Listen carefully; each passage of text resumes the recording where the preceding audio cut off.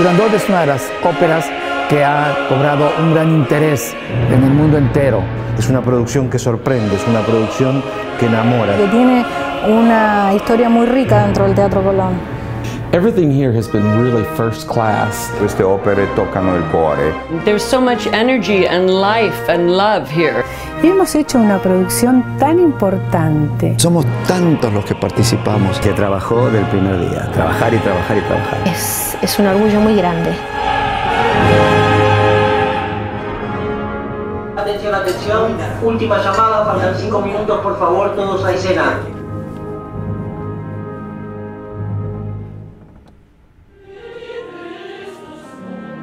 Acá estamos en el escenario durante la etapa de montaje de Turandot, que es un título de, como todos saben, de Puccini. Este, es un título que tiene una historia muy rica dentro del Teatro Colón, eh, porque lo cantó María Calas, porque lo cantó este, Birgit Nilsson, y bueno, y nuevamente estamos haciendo la producción de Roberto Oswald, que es uno de los regisores más importantes que dio el Teatro Colón. Eh, en esta oportunidad es una producción que se hizo originalmente en el año 93 eh, para el Teatro Colón, así que fue, es una producción que tiene mucha historia aquí adentro.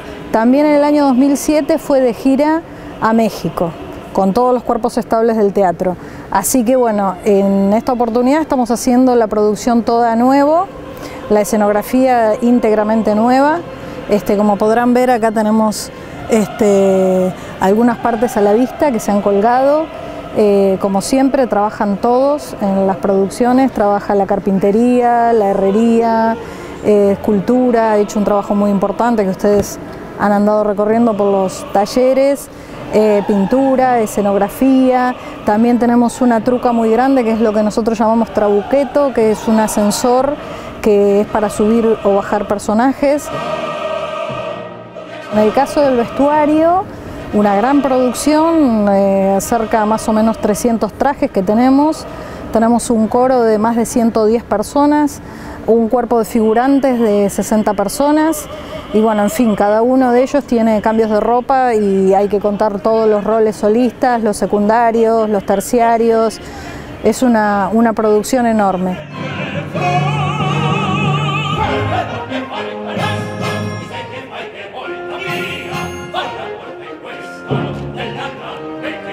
Fue un vestuario que dio mucho trabajo, en una gran producción, de esas producciones que hoy cuestan mucho hacerlas. Los talleres que tiene el Colón, yo creo que no los tiene nadie. La formación, porque como siempre pasa, los inmigrantes trajeron toda su cultura y su bagaje de conocimiento y lo fueron pasando a través de generaciones. Y hoy es nuestra gente que lo, lo realiza, digamos.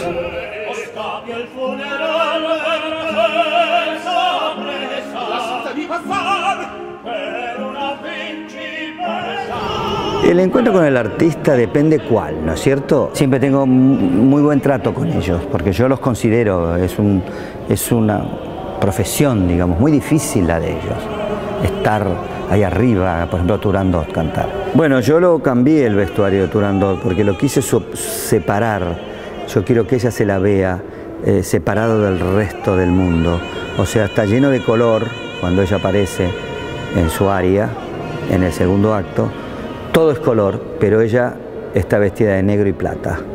O sea, para que realmente se la vea, ¿no? Con esa cola que se bordó en un momento hecha a mano, que tiene como 10 metros. Eh, y bueno, es una imagen fuerte. Yo quiero eso, porque ella es un personaje fuerte, muy fuerte. Entender además que, por ejemplo, Turandot, una leyenda china, en una época milenaria, podés hacer lo que querés. Otras óperas son más, eh, digamos, estrictas, te tenés que atener a la época, porque nombran cosas. Por ejemplo, en Tosca se habla de Napoleón, se habla del general Melaz, o sea, es histórico. Y otras que no, o sea, lo bueno es cuando viene como esto poder desarrollar toda tu fantasía. Y el ping pong fue lo que más se trabajó. Tenemos dos elencos que son muy buenos, los dos. y se trabajó del primer día, trabajar y trabajar y trabajar, porque tiene que ser muy movido, muy gracioso. Le hemos sacado el sentido de lo burdo. De eso,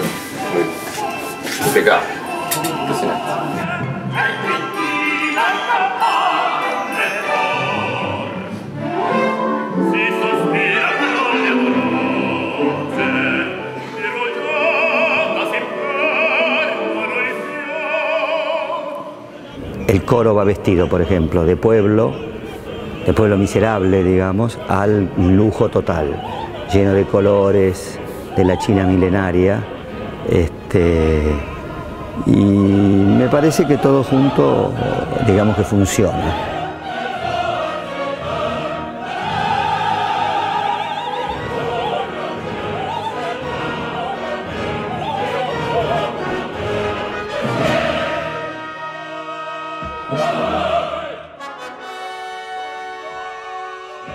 Asimismo también tenemos la particularidad en esta oportunidad de que hay vestuarios, por ejemplo el vestuario del verdugo y sus acompañantes, que ha sido realizado en parte en herrería del teatro, porque para hacer todo lo que es la armadura y toda la composición del traje, como siempre decimos, en, un mismo elemento intervienen varios sectores. De las cosas que aquí eh, tenemos colgada, por ejemplo, empiezan, en, como ustedes ven acá en los planos, empiezan en el dibujo del, escenógrafo, en el diseño. en esta oportunidad el mismo maestro Oswald fue el diseñador de la escenografía. Este, empieza aquí la creación en el plano y se distribuye en distintos sectores tanto como para dejar terminado el elemento como está requerido por el, el escenógrafo. Por ejemplo, ahí tenemos el marco del gong, que está colgado, ahí lo pueden ver. Este, ese objeto, ese mismo objeto está, empieza con los planos, sigue en escultura, eh, tiene por dentro un, lo que nosotros llamamos el alma, que es una estructura para que eso no se quiebre y se pueda trasladar y colgar.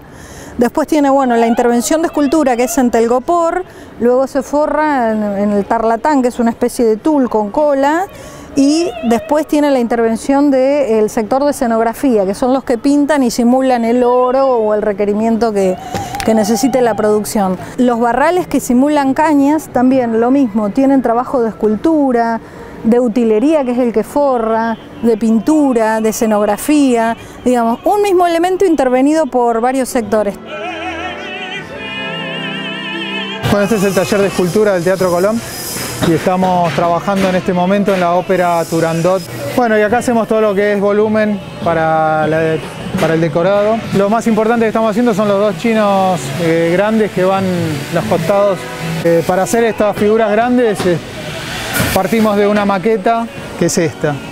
Y en base a esto vamos sacando todas las medidas y las trasladamos a grandes. Acá tenemos una referencia de, de un chino original, uno de los guerreros vamos sacando en escala, trasladando las medidas. Esto es todo un follaje de ramas que estamos haciendo, que son un montón de estas ramas que van colgadas. Después pasa esto, pasa pintura donde le ponen hojas y flores. Es un follaje. Este es el despiezo del, trono, lo que estamos armando acá. Que recién ahora tenemos cortada la silueta, pero hay que empezar a tallar toda la ornamentación que lleva. Todo lo vamos armando así en pedazos y ensamblando. Acá estamos eh, preparando dos dragones que salen del gong, son simétricos espejo, uno de cada lado. Eh, no, sé si tenemos el despiezo acá, sí. Bueno, acá se ve el dibujo. Son referencias de los guerreros originales. También tomamos referencia de un libro, un libro de la cultura china. Acá hay varios de esos guerreros que estamos haciendo. Acá tomamos la referencia para el rostro. Hace 26 años que estoy trabajando con este querido teatro, siempre en zapatería. Eh, fui pasando por varios procesos de la confección a la atención del espectáculo, eh, presentación en el escenario, eh, a combinar ciertos detalles inherentes al calzado y a todo lo que se usa como indumentaria, ¿no es cierto? Acá tenemos, por ejemplo, lo que se estuvo preparando y se está preparando todavía porque no hemos concluido, eh, Turandot. Lleva mucho material, lleva mucha, muchas personas en escena. Esta es la mesa de aparado.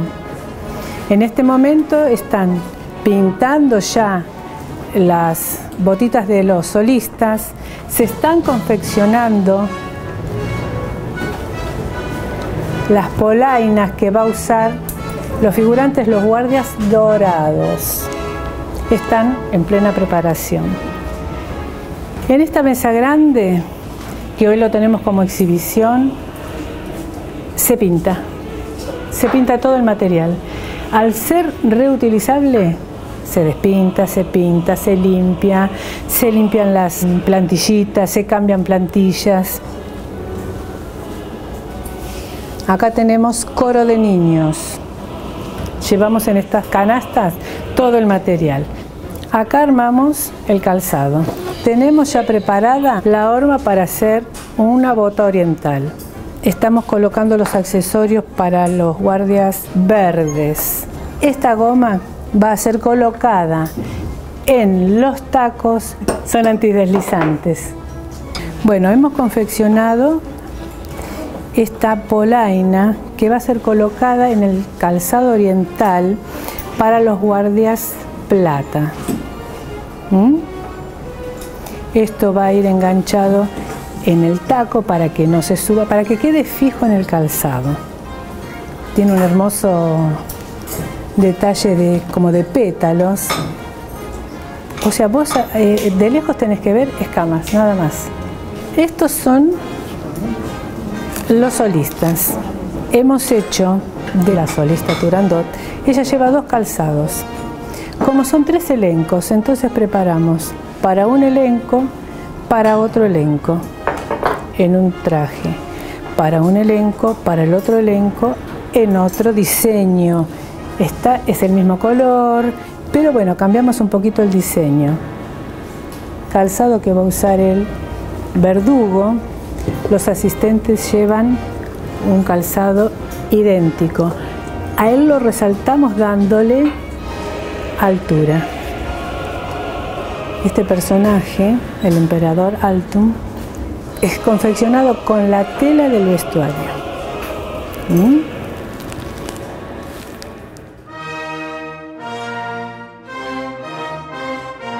Este es nuestro depósito. De acá sacamos la generalidad del material.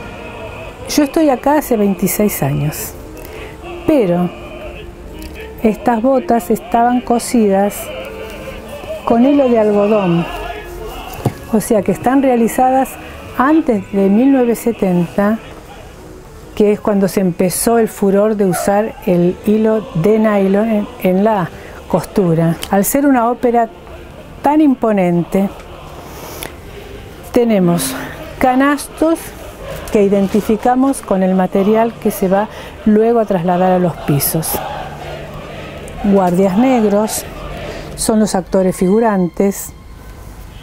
Si me acompañan, esto ya está preparado para el escenario. Tenemos siempre personal que atiende las funciones, que están para una eventualidad. Siempre hay una persona que está de guardia en cada piso. La diferencia que hay entre el material que se usaba antiguamente, que es suela, muy rígida, porque esto un bailarín no puede ni siquiera mover el pie, a los materiales que estamos usando ahora, que es esto. ¿Mm? Las sandalias que usó Plácido Domingo y que lo tenemos como un emblema porque generalmente reutilizamos inclusive el material de los solistas, pero esto, bueno, merecía una conservación especial porque es plácido. Ver el trabajo realizado, ver el sueño de la concreción en el escenario, eso es maravilloso. Es eh, algo que no sé, no, no, no podría describirlo. Con palabras no. Y acá, si brotara, diría, Es hermoso, es hermoso el color.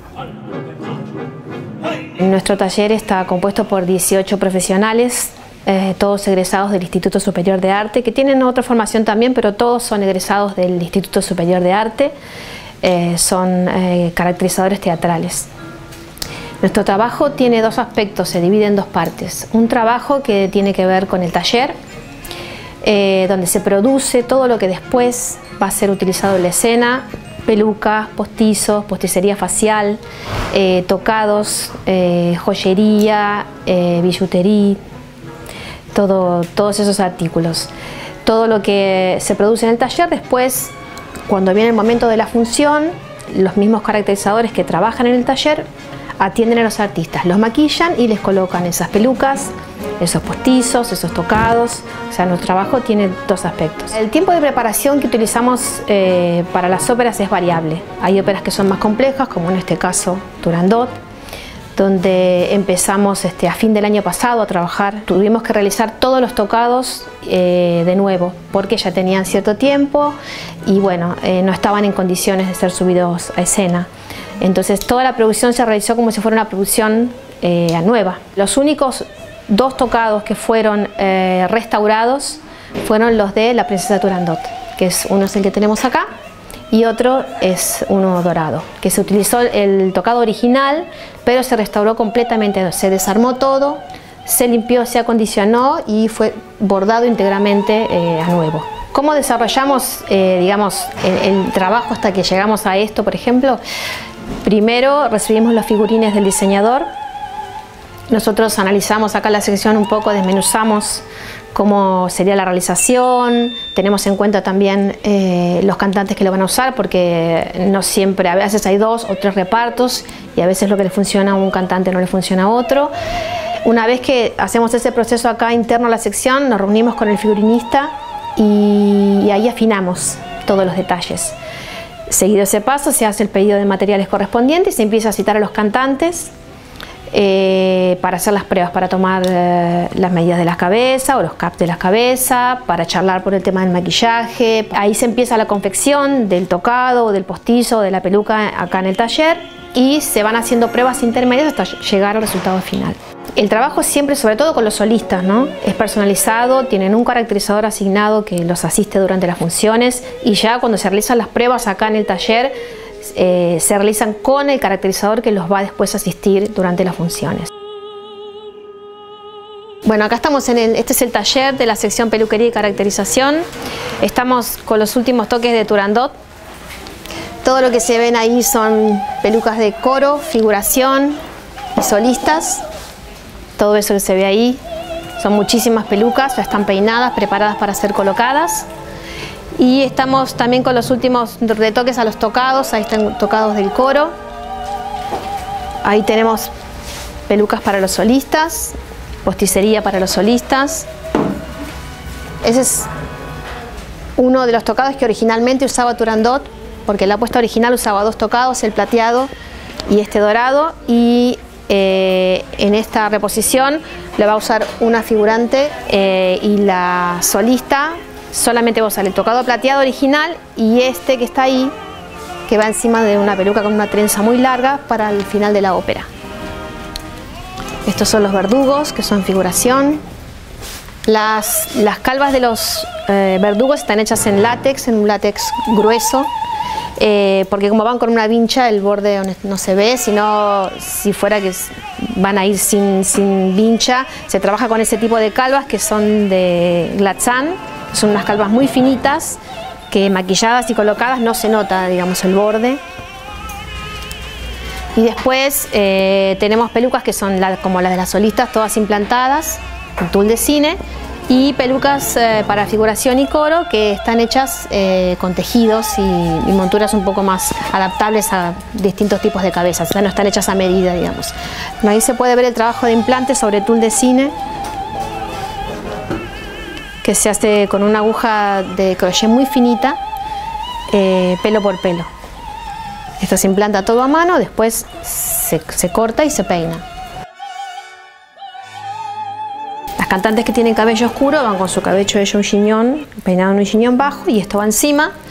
Y las que tienen cabello claro o cabello corto, se les coloca una peluca oscura con un chiñón y después el tocado encima. Originalmente estos tocados eran de fibra de canecalón, de fibra sintética.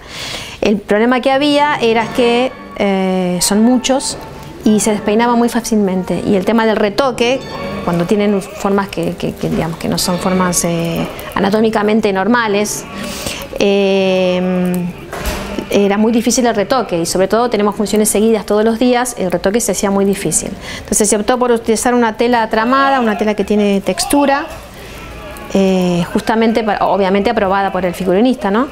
Eh, para evitar el tema de que se despeinen entre función y función. El día que, se filma en HD o hay streaming, como hay planos cortos, eh, ahí se suaviza el maquillaje. La mayoría de los materiales que se utilizan para hacer pelucas vienen de afuera, sobre todo para las, eh, monturas de las pelucas, vienen de Alemania o de Suiza y nosotros, eh, el teatro está comprando todos esos materiales de un tiempo a esta parte, no nos podemos quejar, digamos, tenemos lo, mejor, ¿no es cierto?, lo mejor en cuanto a materiales para trabajar. Y nosotros trabajamos para la parte de, peluquería, trabajamos con cabello natural obviamente, trabajamos con fibra sintética o canecalón, trabajamos con pelo de yak, que es un búfalo que, vive en el Tíbet, que se usa los, pelos de la panza y los pelos de la, cola, que es eh, blanco o gris y generalmente se usa para las pelucas del estilo Luis XV, porque es un pelo que viene como frisado, tiene mucha textura y abulta mucho. Y es blanco. El que es blanco es muy blanco y pelo blanco natural la realidad es que no se consigue.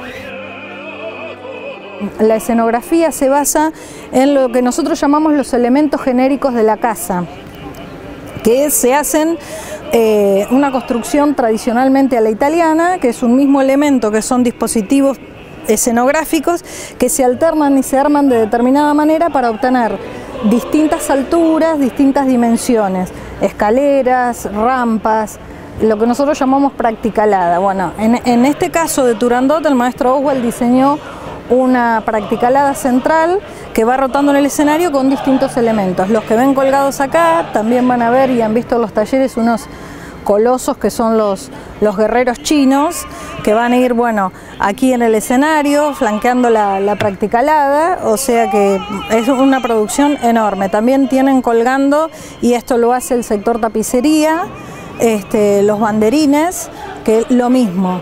O sea, tapicería hace el cuerpo central y luego tenemos algunas aplicaciones. La escenografía se hace en los talleres Luego se transportan hacia el Teatro Colón, se traen en camiones o lo que sea necesario. Eh, llega, entra por un montacargas al teatro, baja hacia el tercer subsuelo y del tercer subsuelo sube aquí hasta el escenario. Esta escenografía originalmente fue el maestro Roberto Oswald. Eh, tuve la suerte de trabajar en muchas producciones de él. La montamos en el escenario y creo que lo hicimos eh, pensando en, cómo él la quería y cómo él le hubiese gustado eh, tenerla en escena. Eh, él siempre nos trató muy bien a los técnicos, siempre. La verdad que trabajar con él era aprender, porque era una persona muy exigente. Nosotros somos exigentes con lo que hacemos porque tiene que salir todo perfecto. El público tiene que disfrutar de lo que está viendo y tiene que disfrutar y ver una escenografía perfecta, los movimientos de escena tienen que ser perfectos. Así que bueno, uno aprende de, personas o de maestros como Oswald y como otros, pero bueno, él la verdad que dejó un sello muy importante en esta casa. Nosotros seguimos con un maestro de música que da los pies de los movimientos y tienen que esos, esos movimientos en general tienen que ir acordes con la música en tiempo y forma de, esa parte de, la partitura. Y después, bueno, eh, en cada cambio cuando cierra el telón, armamos el acto siguiente y muchas veces durante el acto se vuelven a mover eh, esas escenografías. Bueno, esto es una planta, eh, lo que llamamos la planta del escenario del Teatro Colón. Eh, si ustedes se acercan van a ver que acá hay una descripción en el lateral de todo el equipamiento que posee el teatro para colgar los decorados. Hay varas motorizadas, varas contrapesadas y también existen lo que nosotros llamamos los puntuales, que son este, una línea de motores para levantar elementos puntuales o hacer trucas como puede ser un vuelo. Dentro de los planos de la planta del teatro en cada producción se dibuja la escenografía. En este caso aquí tenemos una planta general de Turandot que se divide en tres actos. Acá tenemos dibujado eh, en colores distintos los elementos acto por acto y este es el resumen de toda la escenografía. Si ustedes van a la carpeta, aquí van a encontrar que tienen el acto 1 dibujado con todos los elementos. Como les decía, en este caso la escenografía tiene un elemento central que es una practicalada y luego se va completando con distintos elementos. Esta es la planta del acto 1. Como podrán ver, permanece el mismo color naranja de todo este elemento que es la practicalada, permanece en el acto 2, pero cambian los elementos que componen la escena. Aquí tenemos el acto 2, en este caso el cuadro 2, y también tenemos el acto 3. Esto es una carpeta que se utiliza para hacer el montaje, en este caso obviamente estamos en el escenario, este es el escritorio de maquinaria, aquel es el escritorio de luminotecnia.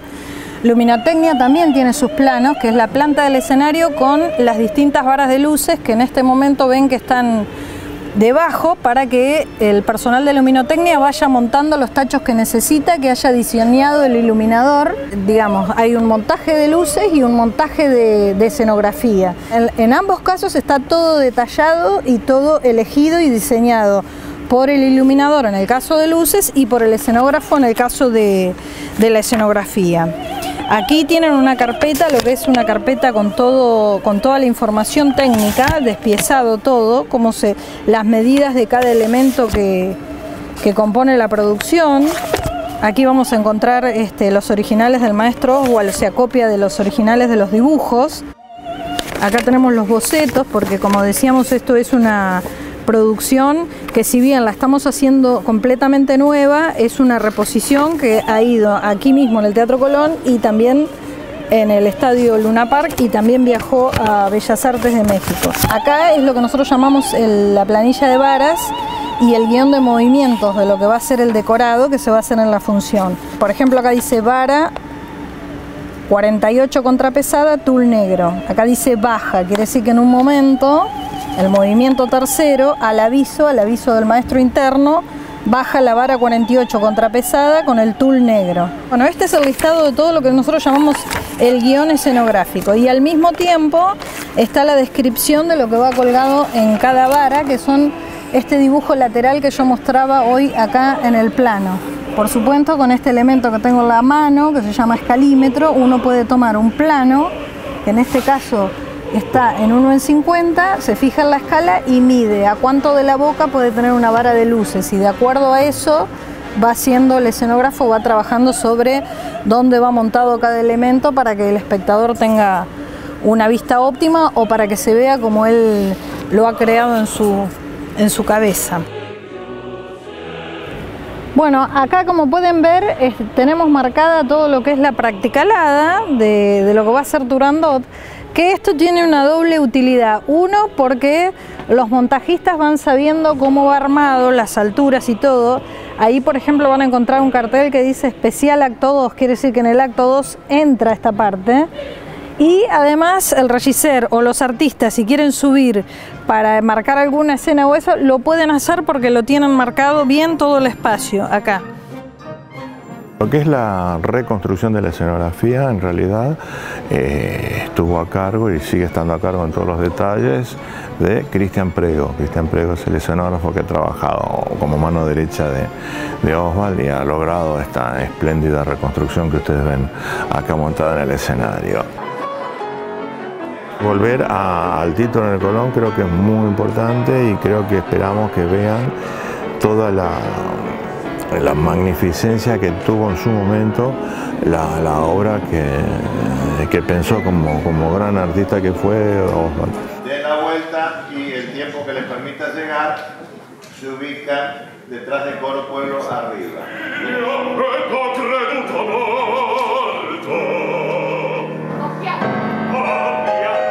Son todos profesionales que, que son, digamos, eh, de, de- de primer nivel en su rol, o sea que lo que tenemos que hacer es eh, integrarlos en nuestra producción. El público conocedor quiere venir, pero el público también que apenas empieza a adentrarse a este menester tan increíble como es la ópera, les atrae mucho porque ya cuando menos conocen las áreas que son muy populares, muy hermosas. El mensaje de esta ópera, se puede decir así, es que el amor vale la pena y que uno arriesga la vida por encontrarlo. Turandot es un título que el público ama y que ama por muchas razones, no solo por la historia, que es una historia, una fábula bellísima, sino porque musicalmente describe un universo increíble.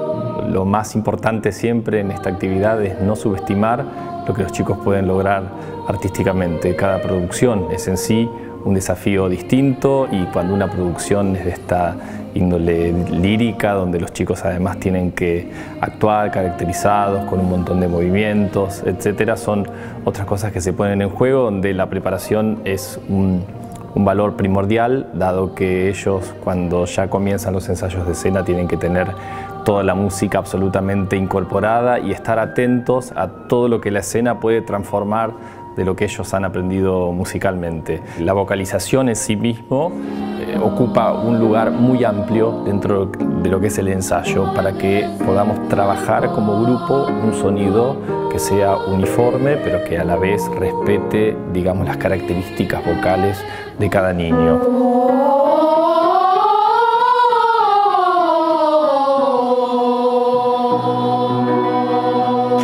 Y ahí vamos gestando y, formando también el sonido que queremos para cada producción. No en todas las producciones usamos el mismo sonido, no es distinta la emisión que vamos a usar si los niños, como en este caso, tienen que hacer un, un coro interno, no tienen que hacer una emisión que realmente traspase una gran cantidad de espacio, de escenario incluso, a la liviandad que por ahí puede llegar a buscar un, director cuando los niños están haciendo una escena y tener que dar esa sensación de fragilidad y de cosa minúscula. Las posibilidades y el rango vocal de los niños es mucho más amplio de lo que todos tendemos a imaginar. Es eh, una ópera fuertemente coral, porque las intervenciones del coro que nos regala Puccini eh, son de, una variedad de matices completa, diría. Eh, el coro debe ser numeroso un poco por lo que representa, ¿no? El pueblo eh, o los nobles o los sacerdotes, hay muchos grupos. La presencia debe ser nutrida del coro, además por la cuestión de sonoridad, que tiene que ver con una orquesta potente, con un discurso musical, digamos, de magnitud, que requiere un sonido pleno, tanto en los solistas como en la masa coral. Es un título que se considera de repertorio. Eh, es una de las óperas más representadas en el mundo de Puccini. Y aquí se hizo en el año 94, 93, 94, cuando yo era asistente de dirección. Tuvimos que hacer un proceso de aprendizaje un poco desde el inicio. Para muchos era el trabajo de recordar un título que se hizo prácticamente hace 10 años. Para otros fue aprenderla de cero. Pero el aprendizaje fue fácil porque eh, es una ópera que da mucho placer el proceso de estudio. Y una vez terminada la preparación eh, musical que compete a mi trabajo, eh, se acerca el maestro director de orquesta, que es el concertador general, y nosotros vamos a interpretar su versión, la versión de Cristian Badea. Así que él hace dos ensayos con el coro en la sala, explicando su versión, dando los detalles de su fraseo, la sonoridad como él la, pensó, como él la requiere, y a partir de ahí se comenzaron los ensayos de escena, que son los movimientos teatrales, los movimientos en el espacio del escenario, eh, a cargo de Matías Cambiaso y de Aníbal Lápiz. Eh, una vez concluido eso, empezamos a unir las partes. El trabajo de escena se une al trabajo musical, al trabajo vocal, en los ensayos de conjunto, que es lo que estamos haciendo en estos momentos.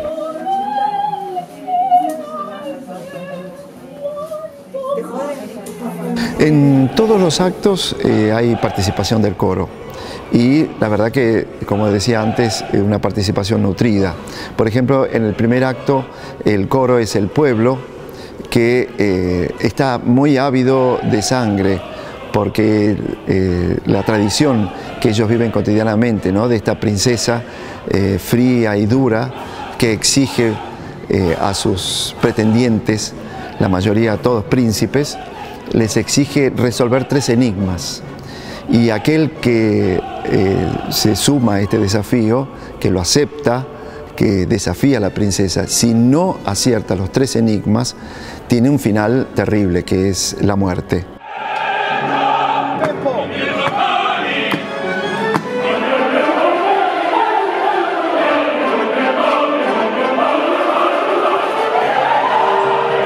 Después en otros momentos, por ejemplo, en la escena en que Calaf decide desafiar a la princesa y llegan los momentos de los enigmas, el, el coro pasan a ser los nobles del palacio eh, que viven con mucha tensión, eh, con mucho nerviosismo, el devenir de, este, de esta competencia. ¿no? Después hay otra escena de gran delicadeza, donde no se caracteriza el coro por las grandes sonoridades, sino por la delicadeza de los pianísimos, los colores cálidos y oscuros, como es la escena en que Liu es atrapada, de gran expresividad y de un color que el maestro Badea ha trabajado mucho para que sean pianísimos eh, etéreos. Y después, bueno, en el gran final, donde el coro nuevamente estalla en una exaltación del amor, de la felicidad y del triunfo de Calaf, eh, no sobre la apuesta, sobre los enigmas, el triunfo sobre la frialdad y la dureza del corazón de Turandot, que al final ella también se une a este resultado amoroso final con un canto de, de felicidad y de gloria.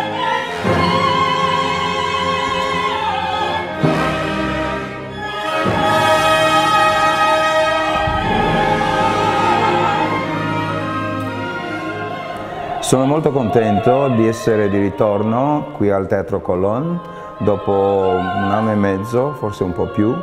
Um, ho lavorato con molto piacere in 2017 e adesso facciamo Turandot di Puccini, che è un'opera, l'ultima sua, sua opera che lui non ha finito, un'opera che è molto interessante, molto impegnativa, un'opera delle sfide da, prima di tutto dal punto di vista di canto perché le parti di Calaf e di Turandot sono molto molto difficili, poi c'è il coro che ha una parte molto importante. Tutta questa cosa va bene, però più importante è di cantare come scrivito da Puccini, ok? C'è la Liu che um, è un personaggio stupendo, un personaggio molto commovente e non per l'ultimo, anche per primo, è l'orchestra che è un'orchestra molto, molto interessante, piena di colori, piena di... Mm, non solo eh, la parte melodica ma specialmente la parte armonica che è mm, quasi quasi di avanguardia, eh, diciamo per, per il suo tempo.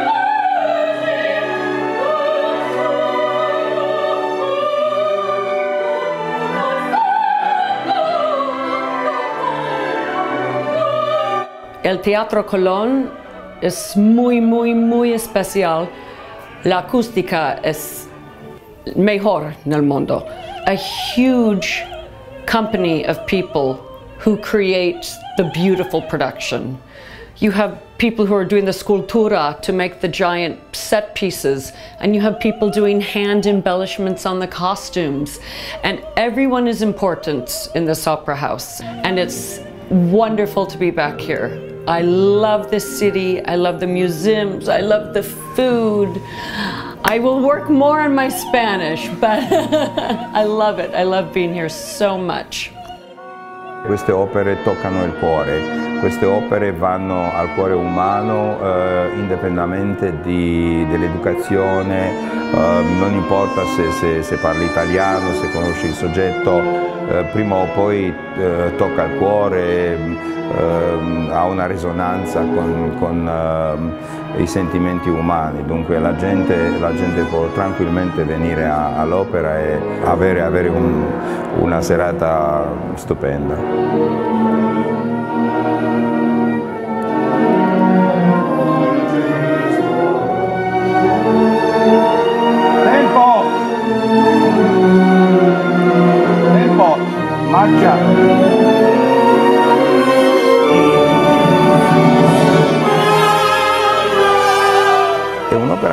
Interessante anche perché eh, si parla sempre di, di questa grandiosità di Turandot, però Turandot ha molti, molti eh, momenti che sono molto intimi.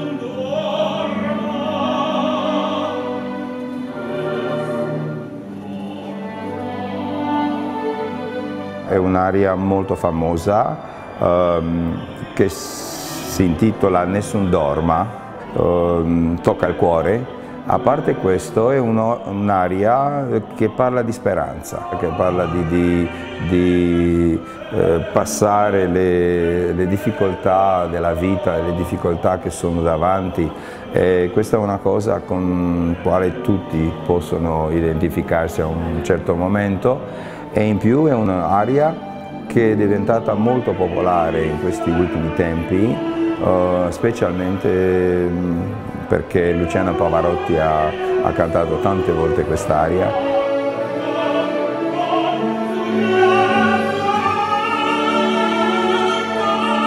There's a huge expectation by the public um, about what it should sound like. And fortunately for the operatic world, Luciano Pavarotti probably the world's greatest interpreter of that aria. Unfortunately for me the other tenors, the bar is so high with that, um, that there's no way to live up to that expectation.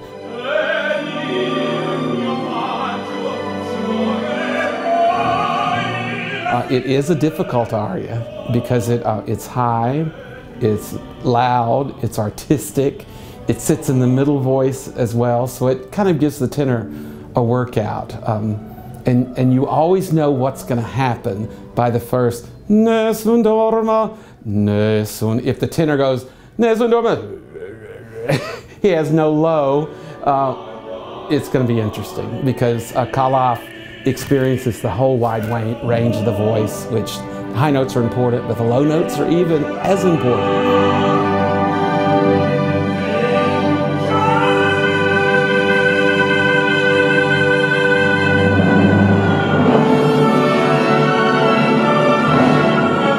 Happy to be here in uh, Buenos Aires, Teatro Colón. I'm here first time and I'm very happy because in this house they sang a lot of, a lot of good and fantastic, amazing singers. And uh, also, uh, beside uh, Monaco and uh, Placido Domingo, he sang I don't know, maybe 50 years ago, my first teacher, Lithuanian tenor Virgilius Noreika. Amazing production, very beautiful. I'm happy to have the new partners and fantastic partners, Maria Gulegina.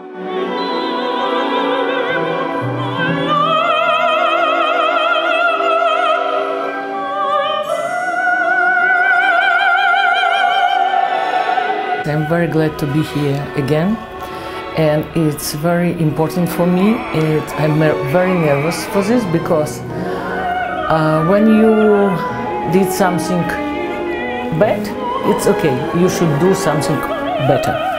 But when you did great success in big uh, opera concert, and everybody after 14 years remember you, and everybody talking about this, I have now very, very big things to do.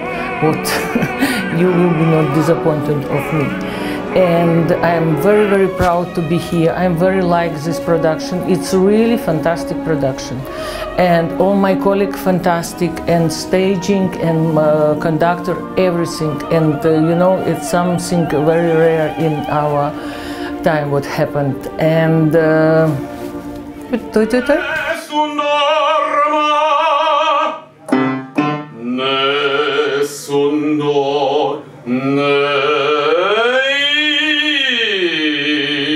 theater, the Teatro Colón, is one of the most famous theaters in the world, and I've always wanted to sing here, so I'm excited to make my debut in this house. And for me, the acoustics and the beauty, the aesthetics, are something we just don't see in opera houses. It's an honor to be here.